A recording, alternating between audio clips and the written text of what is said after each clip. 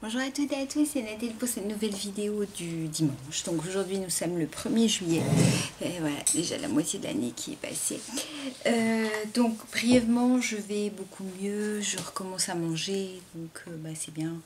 Donc le, pire est derrière moi et puis euh, bah, je continue d'être fatiguée, mais je me repose. Je vous remercie encore une fois pour vos messages. je vous avais dit que je faisais un sujet sur les traitements désolée, j'ai pas bossé encore puisque bon, je me repose quand même beaucoup et j'ai pas eu le temps.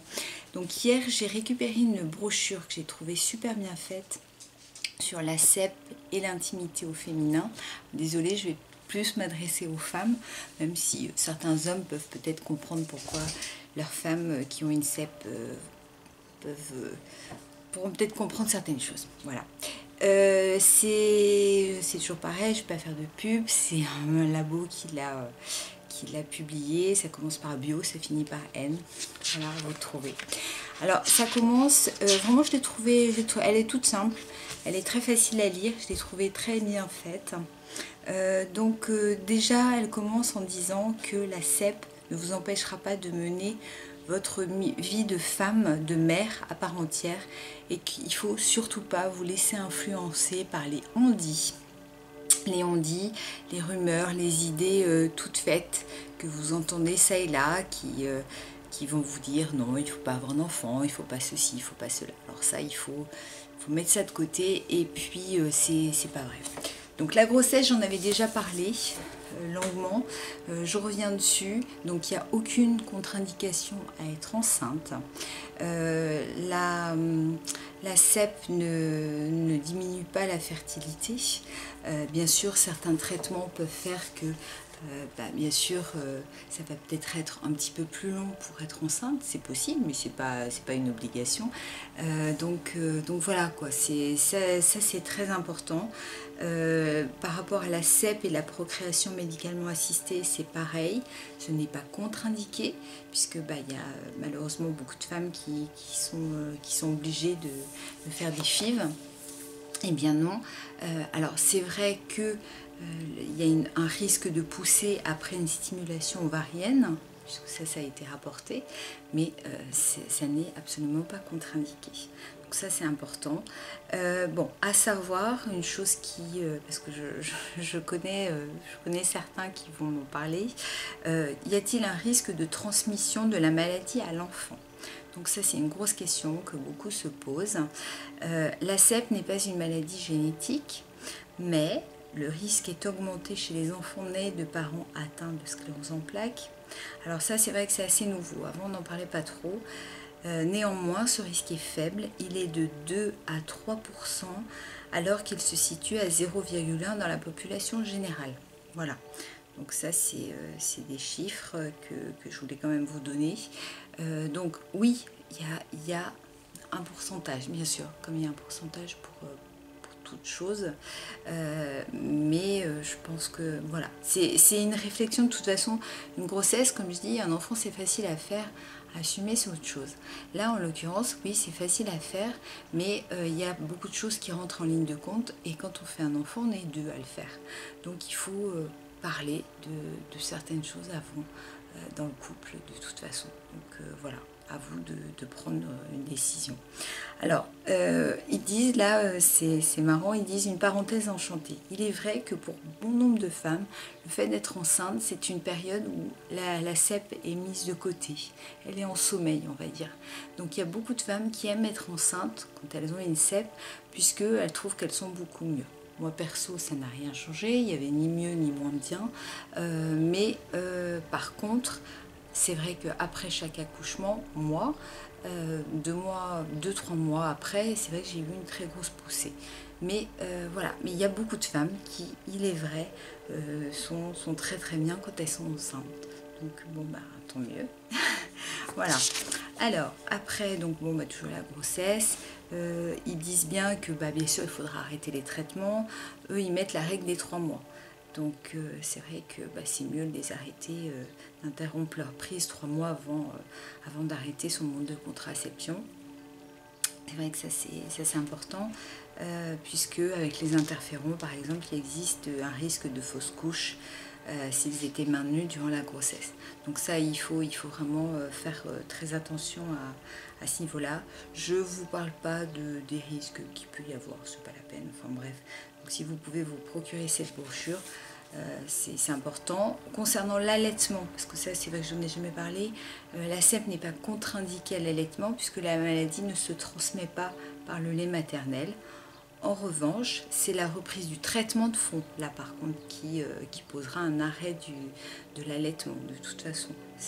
Puisque là, ça, risque de passer par, le lait. Mais tant que vous n'avez pas de traitement, il n'y a aucun souci pour un quelconque allaitement. Concernant la contraception, et bien que ce soit la pilule, le stérilet, enfin toutes les, méthodes de contraception sont autorisées. Vous, vous pouvez ne pas pouvoir supporter telle ou telle chose, mais c'est pas lié à la, à CEP de toute façon. Donc, euh, alors c'est vrai que euh, pendant la grossesse, je reviens à la grossesse, les variations hormonales modifient l'évolution de la maladie. Euh, donc bon, ça c'est, il faut, il faut y écouter son corps, il faut, voilà. Alors, pour la ménopause, parce que ça aussi c'est pareil, on n'en parle pas, et je sais que j'ai beaucoup de personnes qui me suivent qui sont bah, dans cette période-là.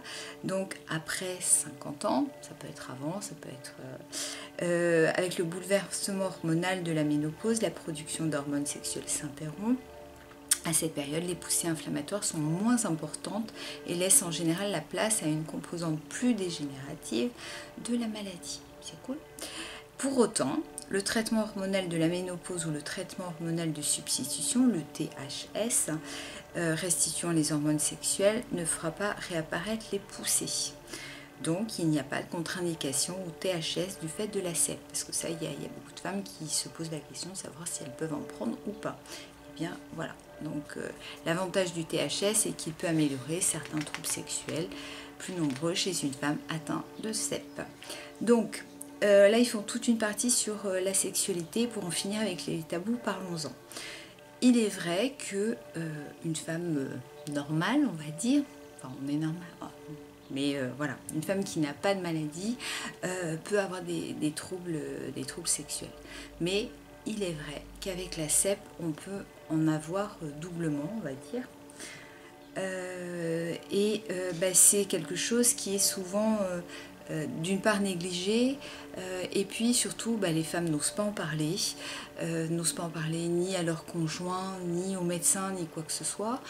déjà c'est quand même très important d'en parler, que votre conjoint comprenne que c'est pas parce que vous n'avez mais parce que véritablement avec la CEP, eh bien il y a des, choses qui, se passent. On peut avoir des douleurs que théoriquement on ne devrait pas avoir. On peut avoir des. Enfin, il peut y avoir plein plein de, troubles divers et variés. C'est cool. Donc surtout, parlez-en. Moi je sais que à Rennes, à la clinique de la, sclérose en plaques, on vous propose justement d'en parler. Donc il y a des infirmières qui sont faites pour ça, il y a des médecins qui sont faits pour ça. Alors c'est pas forcément évident par à son euro, mais euh, parlez-en parce qu'il peut essayer d'y avoir des, des, solutions. Et puis, euh, sans parler de solutions, le fait d'en parler, euh, ça fait aussi un déblocage et on se sent moins, moins seul, je vais dire. Donc voilà, c'est quand même quelque chose de très important. donc n'hésitez pas surtout et ne vous renfermez pas sur vous en disant ouais bah c'est moi. Non, non, non, il faut, voilà, pour les problèmes de sécheresse, tout ça, il peut, peut y avoir des, des solutions. Donc surtout, euh, n'hésitez pas à euh, en parler. Euh, donc là, il y a tout un... oui, bah, sur les, rapports douloureux, tout ça. Enfin bon, donc c'est vraiment intéressant. Et puis ils finissent par les sextoys et la, masturbation. Les sextoys sont, et autres appareils vibratoires ne sont pas contre-indiqués. Mais, oui, parce qu'il y a toujours un mais avec nous, les femmes atteintes de CEP risquent fort d'être déçues en les utilisant. À cause de la maladie, les fibres sensitives sont abîmées. Enfin bref, donc c'est soit vous sentez rien, soit au contraire, ça va accentuer les douleurs. Donc c'est génial. bon. Donc euh, ça, je peux pas vous, dire si pour vous ce sera bien ou pas. C'est euh, voilà. La relaxation pour atteindre l'orgasme, ça aussi, c'est important, donc la sophrologie.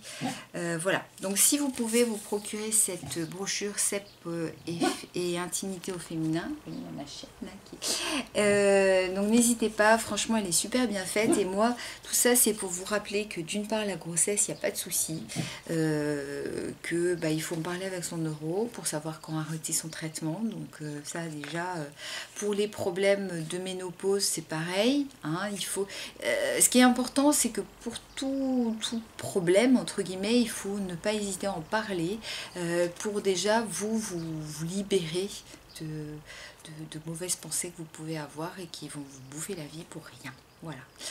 Euh, je vais pas m'étaler pour aujourd'hui. Je vous fais plein de gros bisous. Continuez de m'envoyer des sujets, s'il vous plaît. J'en ai plus. Euh, les abos, les pouces, ça fait toujours plaisir. Je vous fais plein plein de gros bisous. Ah oui, euh, excusez-moi. je la chaleur. Là en ce moment, crève de chaud, on n'en peut plus. Donc j'avais fait un sujet il y a un an à peu près là-dessus. Donc n'hésitez pas à le rechercher. Excusez-moi, j'ai pas son numéro. donc les ventilos, les brumisateurs.